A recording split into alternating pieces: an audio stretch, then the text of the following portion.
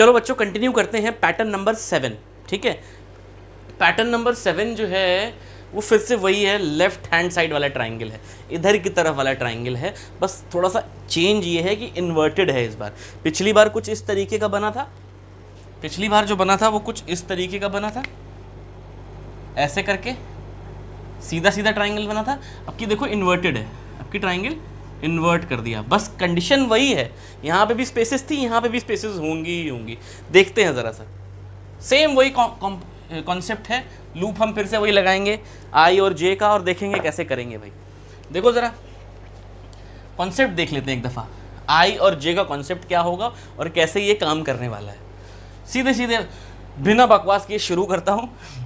भाई, ये लूप है मेरा। I is equal to one I is less than equal to three I plus plus j is equal to one J is less than equal to three J plus plus ये फिर से वही वाला loop है. ये फिर से वही वाली कंडीशन है जो हम पैटर्न नंबर वन में सीख चुके हैं. आई रिपीट हम पैटर्न नंबर वन में ही ऑलरेडी सब चीज़ें काम कर चुके फिर से बताने वाला हूँ मैं क्या क्या कॉन्सेप्ट है। भाई कॉन्सेप्ट ये है कि मेरे को यहाँ पे नौ बार प्रिंटिंग करनी है। भाई, कैसे प्रिंटिंग करनी है? एक्स एक्स एक्स फिर स्पेस एक्स एक्स फिर फिर स्पेस स्पेस एक्स इसका मतलब क्या है? इसका मतलब ये है कि हमको जो है, इसके हिसाब से जो पैटर्न चल रहा है, जो मैं पिछले पिछले वाले पैटर्न में भी बात कर चुका हूँ, कि भाई जब आई की वैल्यू वन होगी तो जे चलता है वन टू थ्री ये मैं पहले भी बता चुका हूँ, ठीक है? अब इसके अंदर कॉन्सेप्ट क्या है? हर आई की वैल्यू के लिए जे तीन बार चलने वाला है, इस तरीके से। आई वन होगा J one two three I two होगा J one two three I three होगा जे वन टू थ्री ठीक है? मुझे ये देखना है कि जैसे फॉर एग्जांपल जब मैं ये बना रहा हूँ, ये रो के लिए फिर से बता देता हूँ, ये कॉलम्स के लिए है, ठीक है? और यहाँ पे जब मैं आता हूँ, या इसको अगर मैं देखूँ प्रिंट करके तो कुछ इस तरीके की प्रिंटिंग आई और जे की हम करवा सकते हैं। भाई देखो वन वन चला, फिर वन टू चला, फिर वन थ्री चला। सिमिलरली टू वन चला टू टू चला, और टू थ्री चला। फिर थ्री वन चला थ्री टू चला, और थ्री थ्री चला। एग्जैक्टली इसी के बराबर है। अब हमें ये देखना है कि कहाँ कहाँ हमें स्पेस मिल सकती है। देखो भाई, हमें इस जगह पे, इस जगह पे और इस जगह पे स्पेस चाहिए। यही तीनों तो जगह हैं। बाकी पे हमें एक्स चाहिए। इस पर कैसे काम किया जाए? पिछली बार में हमें किसी और तरीके से चाहिए था, इस बार हमें किसी और तरीके से चाहिए। ठीक है, हमें ये कॉन्सेप्ट कैसे बिल्ड करेंगे? सोचो आई और जे की इन्हीं वैल्यूज़ में, जैसे पिछली बार मैंने I plus J less than equal to three करके काम करा लिया था, यहाँ पे हम क्या ऐसा लॉजिक लगा सकते हैं आई और जे और नंबर ऑफ़ रोज या कॉलम्स के बीच में, जो हमारे पास इस तरीके का पैटर्न आ जाए? ज़रा सोचो। फिर मैं लॉजिक बता देता हूँ, बहुत छोटा सा लॉजिक है यार। तो भाई, सोच लिया। लॉजिक ये है कि अगर तुम इसको ध्यान से देखो लूप को तो यार जब आई और जे का कंपैरिजन करोगे, इसमें थोड़ा सा और हल्का है। आई और जे का कंपैरिजन करोगे तो इन तीन वैल्यूज़ में आई जो है वो जे से बड़ा है, बाकियों में नहीं है, देखो ध्यान से। यहाँ पे आई जे से बड़ा है, यहाँ पे आई जे से बड़ा है, यहाँ पे आई जे से बड़ा है। भाई ये सारी की सारी जो पहली वैल्यूज़ हैं, ये आई की हैं और जो दूसरी वैल्यूज़ हैं, ये जे की हैं। इसी तरीके से तो चल रहा है ना? ठीक है? अब यहाँ पे जब हम टू वन पे आएँगे तो देखो आई वाली वैल्यू बड़ी है। थ्री वन पे फिर आई वाली वैल्यू बड़ी है थ्री टू पे फिर आई वाली वैल्यू बड़ी है। यहाँ पे तो देखो बराबर हो गया, यहाँ पे भी बराबर हो गया। लेकिन यहाँ पे स्पेसिफिकली बड़ी है। तो हम एक छोटा सा लॉजिक ये डिवाइस कर देते हैं। If I is greater than J अगर आई जे से बड़ा हो एस ओ पी स्पेस मैंने स्पेस प्रिंट करा दी। Else S O P system dot out dot print X खत्म। दैट्स इट फिनिश इतना ही करना था। देखो भाई, अब इसके अंदर अगर तुम ध्यान से देखोगे तो जब ये अंदर आएगा तो इस जगह पे, देखो भाई, पहली बार में चला। One one one two one three इनमें से किसी में भी आई जो है, वो जे से बड़ा नहीं है। तो वो एक्स एक्स एक्स प्रिंट कर देगा। एल्स में चला जाएगा एक्स एक्स एक्स प्रिंट कर देगा। दोबारा में फिर जब जाएगा आई की वैल्यू टू कर देगा। जे वन टू थ्री होगा तो जैसे ही जब टू वन आएगा तो यहाँ पे देखो आई जो है, वो जे से बड़ा है। आई जो है, वो जे से बड़ा है। यहाँ पे आई जे से बड़ा है तो वो स्पेस प्रिंट करने वाला है, पहले वाले में चला जाएगा। ठीक है? दोबारा में टू टू होगा। टू टू में क्या बड़ा है? नहीं बड़ा है, बराबर हो रहा है। तो वो पहले वाले में नहीं जाएगा एल्स में चला जाएगा एक्स प्रिंट कर देगा। तो ये मिल जाएगा, यहाँ पे भी एक्स प्रिंट कर देगा। फिर से स्पेस स्पेस एक्स प्रिंट कर देगा। सिंपल सा लॉजिक है।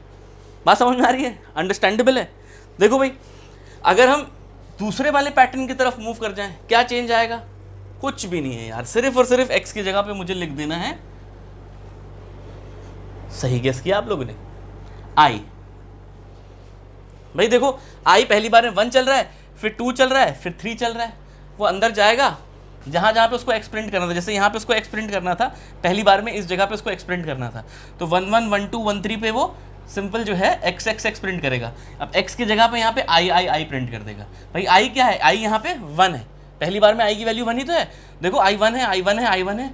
प्रिंट कर देगा। दोबारा में जाएगा, आज देखो टू है टू है टू है। तो भाई दो ही जगह प्रिंट करेगा, यहाँ तो स्पेस प्रिंट करने वाला है तो यहाँ पे टू टू प्रिंट कर देगा। तिबारा में देखो, यहाँ तो स्पेस प्रिंट करेगा, यहाँ पे थ्री प्रिंट कर देगा। हमारा ये वाला भी आ गया पैटर्न ठीक है भाई?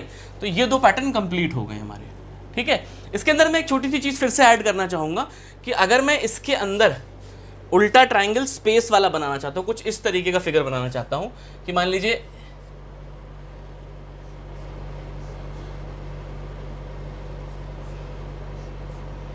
ये वाला।